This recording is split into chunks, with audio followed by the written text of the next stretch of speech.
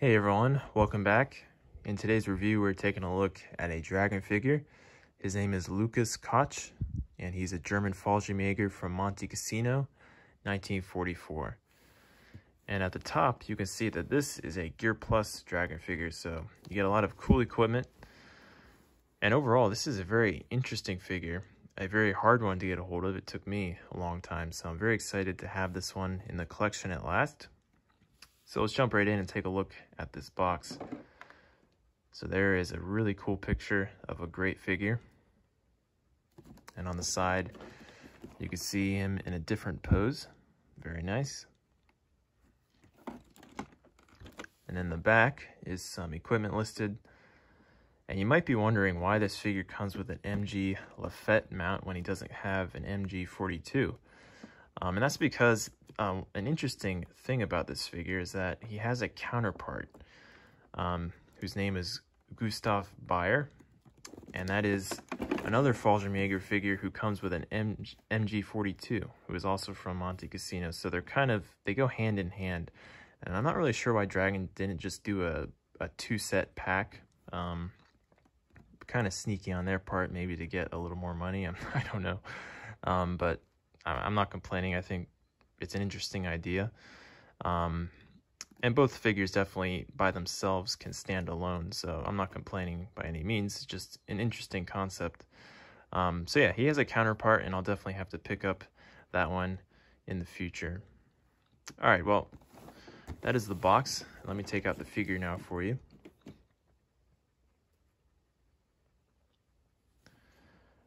All right, guys, so here is Lukas. This is a fantastic dragon figure, a really nice one.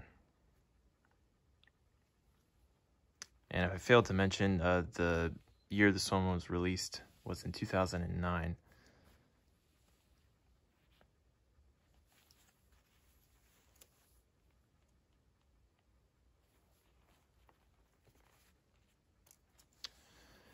All right, so a great looking figure. I really like this one. For starters, let's take a look at his FG42, which I've always loved these a lot. Very unique weapons. You don't see a lot of dragon figures with these. And he holds it fairly well. It's a little, a little tricky to get that um, inside of his hand.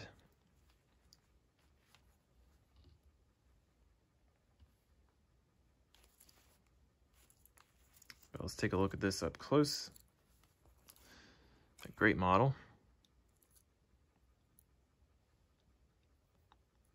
Got a pretty good sling on there.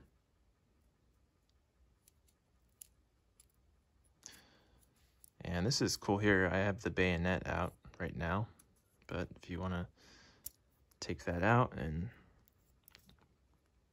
put it back in like this, and then you can properly put the uh, the um, bipod up.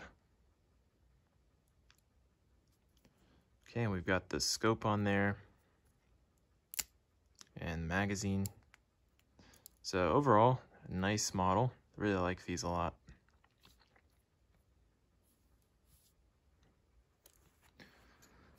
All right, next up, let's take a look at the helmet and the head sculpt.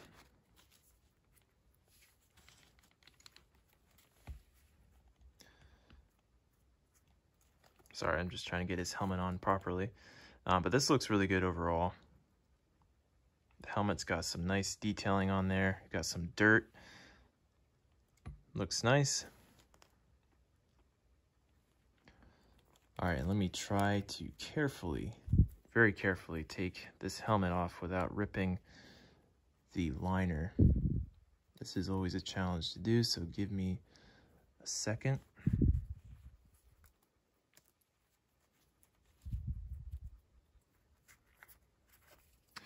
All right. So there's the helmet one more time. And here is the head sculpt, which is very nicely detailed. I like the expression a lot. He's right in the middle of battle, it looks like. You can see uh, the teeth are nicely detailed. Yeah, I like the expression a lot, as well as the hair. You can definitely tell this is a 2009 model. I don't know what it is about the 2009 models. They had a certain look to them, almost like a glossy look. I guess different kind of paint was used, but uh, it's interesting. You can kind of date the figures just based on what the head sculpt looks like. All right, as for equipment, you can see it comes with a bandolier. So here, this is, and inside are some extra magazines. I actually left a lot of them inside of the box, but I did put two of them inside of these pouches. They don't close all that well, so a lot of times it opens up, which is a little annoying. All right, he also comes with this case here for the MG. It's actually a telescope case, and let me open that up.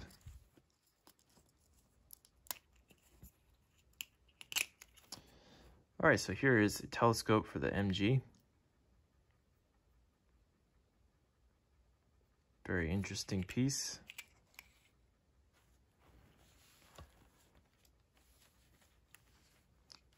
All right, and we've got a knife back here, gas mask, canister, bread basket, mess tin, and it does come with a canteen as well, but it's really hard to get this one on. That little clip that usually is there was not there for some reason, so I'm not really sure how to get that on. So I've left it off for the time being. Um, but of course, the main attraction here is this MG Lafette mount, which is very nice. And I guess I'll take it off of his back so we can get a closer look at it. Um, whenever I get Gustav Beyer, I'll have to do a video on these two together so you can see them um, both. Um, but yeah, this is really cool. I haven't actually put it into any type of position, so I'll leave it as is right now. Um, but really cool, nicely detailed. And yeah, like I said, I'm looking forward to getting Gustav at some point so I can see both of these figures together. All right, well, lastly, let's take a look at the uniform. We've got his Fallschirmjäger smock. Very nice. You can see his uniform um, underneath. Got some insignias that you have to put on yourself.